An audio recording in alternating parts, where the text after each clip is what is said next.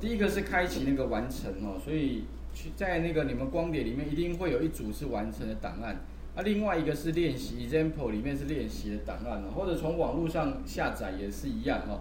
那首先的话，你就开启完成档，了解一下哦，它这个地方的问题呢，哦，它的问题到底要要我们做什么？那首先的话，实际上哦，第一个我们要先做的，如果说要要练习的时候呢。第一个要先做哈所谓的开奖，那它要两边哈，一个是开奖，所以开奖的最大的目的就是说呢，我要得到就是开奖号，好开奖号。那实际上哦，这个地方比较不好理解，就是说呢，因为呢会有个所谓的特别号了哈，特别号就是说开奖的时候呢，会需要开出七个号码，七个号码。这七个号码里面的话呢，就是一到六号是正常的号码。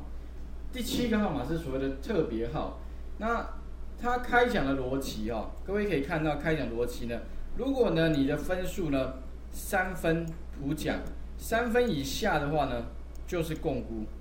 那分数怎么来的呢？特别注意哦，如果你是一到六号，假设你有中一个号码的话呢，一个号码中对不对？就是给一分，给一分。如果说呢哈。等于是说你中三个号码呢，才会有普奖四百块，所以哦中奖就是四三个号码中了才会有了哈。那另外的话呢，这边各位可以看到有六奖有没有？六奖就是三点五。那你会想，哎，怎么会点五呢？特别注意哦，如果你中奖的号码哈，就是你开你选的号码呢，跟特别号比对之后，跟特别号一样的话呢，那就是给零点五分，给零点五分哈。这个是规则哈，这个是一个规则。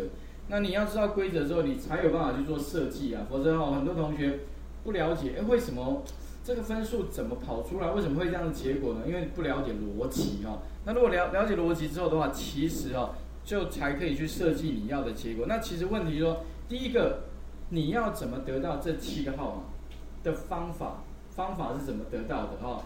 那这里的话呢，我们会需要用到几个函数。第一个摇奖号，摇奖机这个地方呢，我们需要。一个叫做 rand 的函数，rand rand 哈，rand 这个其实你们可以参考那个应该位置啊，你可以看一下八之三页哈，就我们书上的八之三页的第一二三第四行地方啊 R N D。那这个函数呢，就可以帮我们得到乱数哦。那这个乱数的话呢，可以产生四十九个乱数，四十九个乱数。那这个四十九个乱数呢，我们要怎么样决定哈？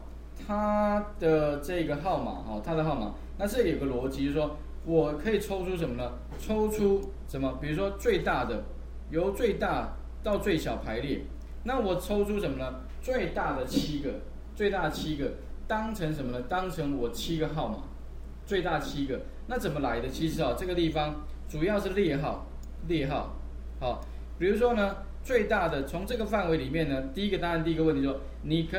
怎么知道说这个范围里面最大的是谁？是什么号码？那这里的话呢，会需要用到一个函数叫 large，large，然后呢再给它一个范围，就可以得到呢哪一个号码最大。可是呢，得到号码之后的话，我怎么知道这个号码在第几列？比如说会跳出十九，那其实十九的话呢，在这里各位可以往下看呢，应该是二十。为什么？因为第一列第一列里有东西嘛。所以呢，应该是二十号跳一号，二十号有没有找到？那你会想说，第这个列号怎么取得？用哪个函数可以可以可以得到列号？哦，这个等一下也要也要知道。再来的话呢，比如说这些号码啊，我取得之后的话呢，那我要怎么样让它做一个什么呢？排序。如果说我今天呢希望怎么样呢？由小排到大，由小到大的话呢，该怎么排列？由小到大，好。所以这边的话呢，第一个问题乱数。第二个问题最大的，第三个问题呢，它的列号怎么取得？第四个问题的话呢，我要由小排到大，怎么排列？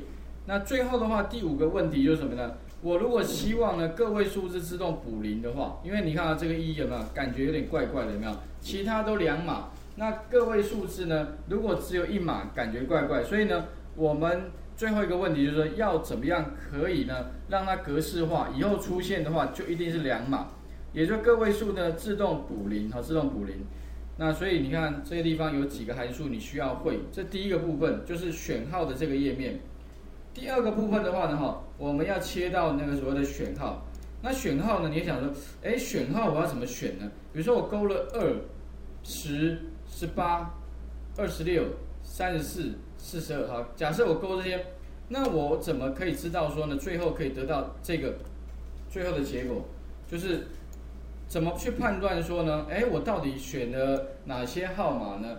那选完这些号码之后呢？为什么它自动会带到这边来呢？有没有自动带到这边来？那中间呢，到底做了哪些事情呢？其实这里的话呢，特别注意，我们需要学到的哦，第一个，怎么样在这个上面产生什么呢？所谓的 check box，就是让人家打勾了，可以让人家挑选。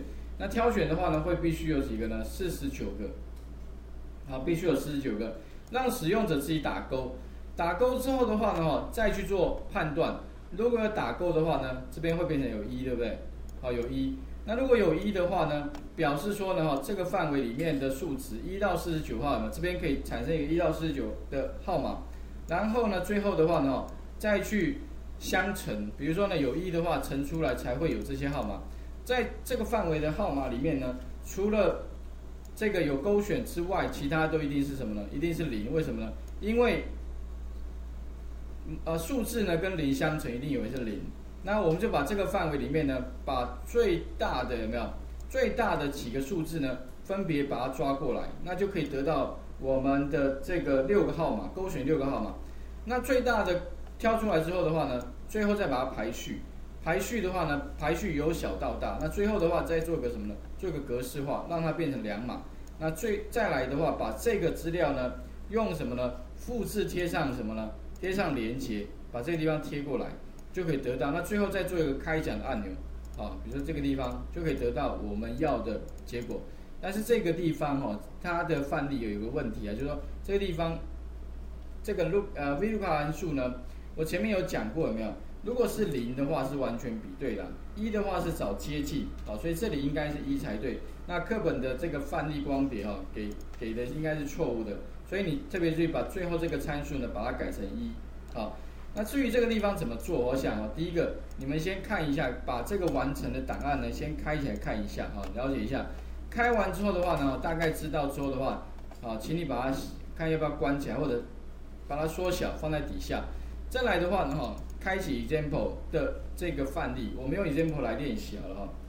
因为如果要删除，可能要删除蛮多东西的。那这边的话呢，请你在开启这个。example 里面的那个大乐透档，好，然后呢，我们再来一个一个练习好了，好，画面先画给各位一下哈。那这一题的话呢，原则上哦是最难的地方呢是怎么样？